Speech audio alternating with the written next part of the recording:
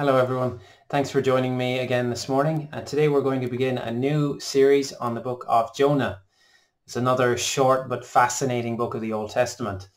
Unlike Ruth, where much of the scenes are quiet pastoral scenes, Jonah is full of big, epic things. Unlike Ruth, we are if we were to make a film adaptation of of this book of Jonah, we'd need a good special effects budget. But I hope that when we read the story, you'll see that it's just as relatable. It speaks to us and challenges us in our daily lives, even though those lives are free from any encounters with giant fish. When it comes to Jonah, everyone thinks of the fish. But the truth is that this, this is not a story about a giant fish. The story of Jonah is traditionally read every year at the time of Yom Kippur. That's the Day of Atonement. It's a day when people are reminded of their sins and of God's mercy. This story is about something much bigger by far than a giant fish. It's really about God's mercy and that is something that we all need and something that we all need to reckon with. So let's not delay any further. Grab your Bible or listen carefully as we read Jonah chapter 1. Now, we're going to read all of chapter 1. The word of the Lord came to Jonah, son of Amittai. Go to the great city of Nineveh and preach against it, because its wickedness has come up before me. But Jonah ran away from the Lord and headed for Tarshish. He went down to Joppa, where he found a ship bound for that port. After paying the fare, he went aboard and sailed for Tarshish to flee from the Lord. Then the Lord sent a great wind on the sea, and such a violent storm arose that the ship threatened to break up. All the sailors were afraid, and each cried out to his own God, and they threw the cargo into the sea to lighten the ship.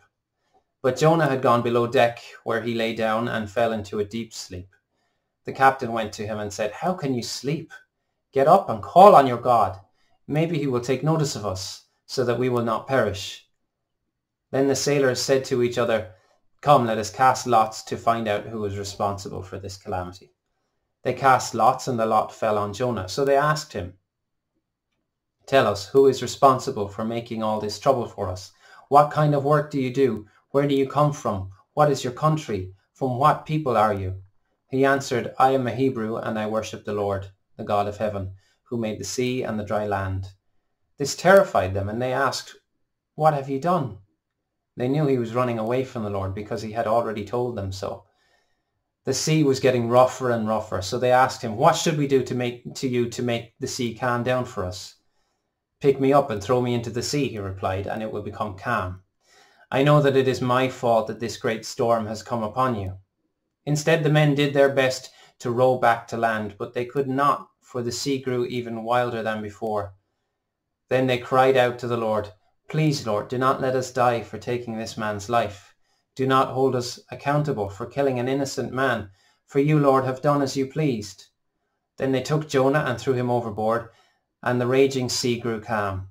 At this the men greatly feared the Lord, and they offered a sacrifice to the Lord and made vows to him. Now the Lord provided a huge fish to swallow Jonah, and Jonah was in the belly of the fish three days and three nights. Amen. And we thank God for his word. So despite this being grouped in among the prophets section of the Hebrew Bible, the book of Jonah stands out for a few reasons. The focus is on the story of Jonah and what happened to him instead of the content of the prophecy.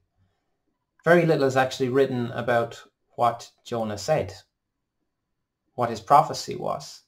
In fact, we're told just one sentence. Jonah eventually walks into the middle of this great city, Nineveh, and says, 40 more days and Nineveh will be overthrown. That's all we're told. And for all we know, that may have been all Jonah said. Another way that this story stands out among the prophets is that its prophet Jonah doesn't come out of it looking great. He's not the hero of the story. And as we go through this short series, I don't want you to think be like Jonah. Very often the message is more, don't be like Jonah. Right from the start, we see Jonah doing the opposite of what you'd expect a prophet of the Lord to do. verses 1 to 2. The word of the Lord came to Jonah son of Amittai, Go to the great city of Nineveh and preach against it because its wickedness has come up before me. Jonah is called by God to go to Nineveh, a mission from God. And so you'd expect that this prophet of God would go and do what God says. You'd expect Jonah to fearlessly speak God's truth to sinful people, to be brave, to be faithful, because God has told him to go and be his messenger. But Jonah runs away. In fact, Jonah runs as far away as he can. Verse 3, But Jonah ran away from the Lord and headed for Tarshish. He went down to Joppa, where he found a ship bound for that port. After paying the fare, he went aboard and sailed for Tarshish to flee from the Lord. We're not sure where Tarshish was. There are a few suggestions. Tartessus in southern Spain, Carthage in Tunisia, and a town in Sardinia. Wherever it was, it was in the opposite direction Jonah was called to go. Nineveh was to the east, Tarshish to the west. And if Tarshish was in southern Spain, then it was as far away as it was possible for Jonah to sail. Jonah is running away from his call. And notice the phrase that's repeated here, from the Lord. Jonah is fleeing to Tarshish from the presence of the Lord. Jonah is running away from God, or at least he's trying to. You don't expect that from a prophet. And here we begin to see that maybe Jonah has a small idea of God. I mean, he knows deep down that God is the one who made all things, and yet he's operating in this moment as if God is some local tribal deity that belongs to Israel and in Israel. Jonah thinks he's getting further and further away from God as he sails away from Israel, further from the promised land, further from the temple. But God Almighty is right there, and he will not let Jonah run away from his mission. Verse 4, Then the Lord sent a great wind on the sea, and such a violent storm arose that the ship threatened to break up. Here on the sea, we meet some other characters too. The sailors of this ship, caught up in this storm because of Jonah's actions, are frightened and they call out to their pagan gods to save them. But none of these false gods can do anything to save them. Meanwhile, Jonah is sleeping, so they wake him up and tell him to call out to his God, and maybe that will work. They're desperate and they're trying everything because they're scared for their lives. While these desperate sailors fear for their lives and call on false gods to save them, the one who knows the true God sleeps. In fact, this whole storm is because Jonah did not want to play his part in the mission to save pagans. This is a little representation of what it's like to ignore our calling. God called Jonah to preach to the pagans in Nineveh and he refused and here he is sleeping while these pagans fear for their lives. God called the Israelites to be a people for his glory, to show the world what he is like. And are they sleeping on the job while the pagan world desperately calls out to false gods? Jesus commissioned his disciples to go and tell the world about him and make more disciples. And today, are we sleeping on the job while generation after generation of desperate people cry out in vain to false gods? Let's make it a bit more local are we, and I mean me and you, Christian, sleeping on the job while our neighbours, our family, our friends and co-workers look for salvation from false gods, from their jobs, their relationships, their money, their looks. We know the living God. We know salvation. We know true hope. We know the gospel of Jesus Christ. We have been saved by his sacrifice on our behalf. We know the way to peace with our Creator. We're not meant to keep it to ourselves.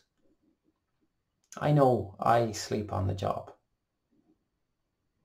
Let's allow the words from verse 6 of the pagan captain of this ship to really sink in. How can you sleep? Get up and call on your God. Do you call on God on behalf of your neighbours? Do you pray for them? Do you love them? Let's get up and call on our God and take part in his mission. I think we fall asleep on the job. We forget our mission and calling because we can fall into the trap of believing in what I call decorative holiness. I think this happened to Jonah. I think it happened to God's Old Testament people, Israel. And I think it can and does happen to churches. And I know it happens to me from time to time. We understand that we're holy, that God has set us apart. That's what holy means, special, set apart. That's the amazing, wonderful truth of the gospel. If you are a Christian, if you have faith in Jesus Christ and his sacrifice on your behalf, then you are holy. You are set apart. You are special. You are part of God's holy people. You have been cleansed and forgiven of your sins and the Holy Spirit lives in you to make you more and more holy, to make you more like Jesus. We understand that we're holy, that we've been set apart and made special, but we can fall into the trap of thinking that God has set us apart just to have us, just to have this special people, just to be there, to be special, to be decorative like the good china that nobody ever eats off of, or the cushions that nobody sits on, or the decorative hand towels that you're not allowed to dry your hands on. We're holy, but we are not merely decorative. Your holiness is not decorative holiness. It is functional holiness. You've been set apart, made special for a purpose, to do a job. Think of yourself less like the special china and more like an instrument in an orchestra or a special tool. We have a function, we have a role to play in God's mission. So Jonah wakes up and they find out that he is the reason for the storm because he was running away from God. The storm is continuing to rage and, and gets even stronger. The solution is clear to Jonah, pick me up and throw me into the sea. So has Jonah finally found some compassion for pagan people and now he's willing to die that they might live? If so, that this is a special self-sacrificial love, the kind of love that we need for mission the kind of love we see brought to its fulfillment in Jesus Christ, who gave up his life so that we could be set free from sin and death? Or is it the case that Jonah is so determined not to answer God's call that he would rather die or risking death allow God to punish him in the sea? It sounds a bit much, but there are some clues that this might be the case further on in the story. In chapter 2, Jonah's psalm or prayer to God from the belly of the fish is conspicuously lacking in any repentance for running away from his mission. After he's vomited out by the fish, God calls Jonah again in chapter 3 and tells him again to go to Nineveh. And at the end of this, in chapter 4, after Jonah has preached to Nineveh and the people all repent, Jonah is so angry and bitter that he just tells God to kill him. When God called Jonah, Jonah knew that God was sending him to Nineveh as part of his plan to show mercy to this great pagan city. He didn't want the people of Nineveh to experience God's mercy and grace because God was his God, the God of his people, his race, his country. Why should those pagans be blessed by my God? Jonah has a small picture of God and his grace. But what this story shows us, what I hope you'll see as we go through it, is that God is bigger than we can imagine. His grace and mercy and love are greater and more glorious than we can imagine. Jonah's idea of God is tied to his people and his land and that, that he thinks going far away from Israel is a way to flee from the presence of God. But God is not so small. God chose Israel to be his people, to reveal himself to them and to dwell amongst them, but he's not confined there. God is the God of heaven and earth, the creator and sustainer of all things everywhere. This is a story about Jonah learning that lesson the hard way so that we might learn it the easy way. It's plain that Jonah really disagrees with God showing mercy to the pagan people of Nineveh and really doesn't want to go and be any part of this mercy mission, would he rather die than see that happen? Is his hatred for the pagan nation so great? It's not too difficult to imagine when we look at some of the hatred we see in the news and online. The grace and mercy of God shames and angers us human beings with all of our hatred and prejudice. This book is full of irony. Imagine reading this or hearing this story back in the day. If you are some kind of ancient Israelite nationalist, you hear a story about an Israelite prophet of the Lord going to preach a warning to the pagans. And after a while, you're going to feel a little uneasy, a little uncomfortable with this story. The only Israelite in it, the prophet who you thought would be a hero, is rebellious, disobedient, and selfish. Meanwhile, every pagan character you encounter is responsive to God. The sailors end up worshipping God. By the end of the story, we read that the whole city of Nineveh, from its king to its cattle, end up repenting. Jonah resents God's mercy, but the pagans take it eagerly with both hands. But I'm running ahead. We'll see more of that next week. Look at your life and the people that God has called you to. I don't mean that you need to have heard a big booming voice from the clouds. God is sovereign.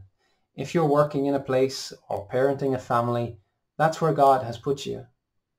If you if you're friends or neighbors with someone, this is someone that God has brought into your life. Do they know God?